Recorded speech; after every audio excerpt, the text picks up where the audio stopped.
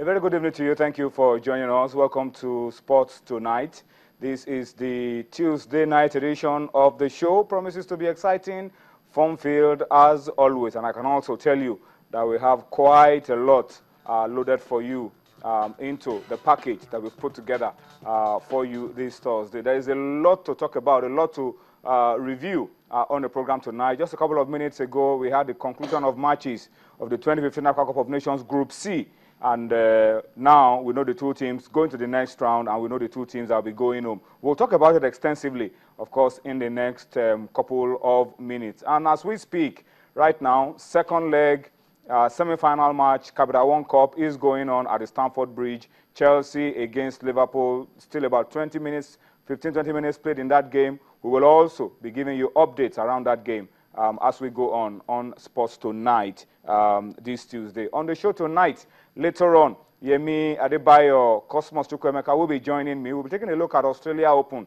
We'll be finding out what's going on um, at the Grand Slam, the first Grand Slam of the year.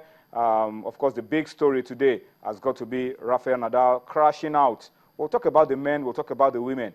Um, of course, um, as we go along um, on sports tonight. So get ready uh, to be a part of that as well. Of course, we won't um, be complete without spending quality time to take a look at the state of football in Nigeria.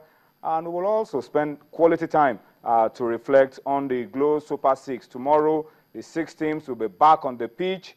What is up? Who is up against who? We'll give you all of that later on um, as well um, on the show uh, tonight. And of course, we will look into the league. And today we'll talk about Gabros International of Nnewi. Yesterday we spoke about Atland unveiling a new coach. Gabros have also unveiled a new coach, a foreign coach.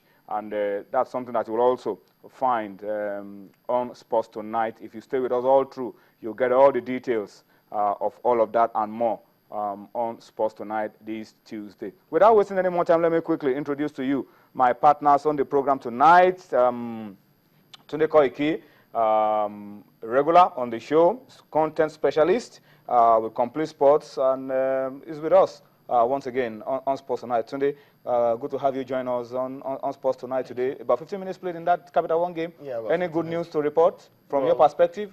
Well, uh, no, none so far. The good news is that Liverpool are leading 3 0. Unfortunately, that's not the case. Still goalless? Still goalless. Mm. Plenty to play for. But Mm. if it remains 1 1 after 90 minutes, uh, or tied on 1 or 2 2, or ends 1 1. Uh, again, in the second leg, that is 2 2 on aggregate after 120 minutes. They go to penalties. go to penalties. Mm. All right, but if it's goalless at the end of 90 minutes and goalless at the end of 120 minutes, Chelsea will go through um, on the away goals. All right, that's how it works uh, with, with Capital One. All right, and then um, of course, uh, Doom Nadio Konta is also on the show tonight. Doom, there's plenty to talk about tomorrow. Uh, who will be up for lunch? Uh, who will be facing the Flying Eagles? That's the team everybody dreads uh, at the Super Six. Doom Nadi, um, and of course, um, Newi. Something good is happening. Yes, Mm. You have all the details for us. Of course. Mm. All right, so Doom Nadi will also be serving us all of that as well uh, on the show tonight. But gentlemen, we have to start the show on, on a very sober note. We started the show on that note yesterday, but it's gone from bad, it's gone to worse. Oh, okay, maybe from worst to the worst um, that could ever happen. Irredeemable. I- irredeemable, at last. Um, Inevitable. Inevitable has happened to Wilfred Agbonabare. Uh, the story is that Wilfred has passed on. He lost this battle to cancer.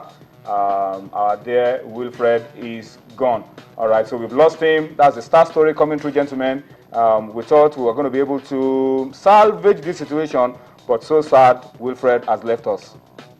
Well, um, it's, it's really it's a really sad story. Um, it- it- we've been talking about this for the past two weeks now, hoping that um, some kind of I don't know some kind of last minute miracle might happen. But cancer being what it is, uh, it, it- it's almost incredible. Very few people you ever see walk The away. terminal, terminal. Yeah, very few people ever see walk away from uh, having survived the bout of cancer, whatever kind of cancer, lung cancer, breast cancer, testicular cancer, what kind of cancer.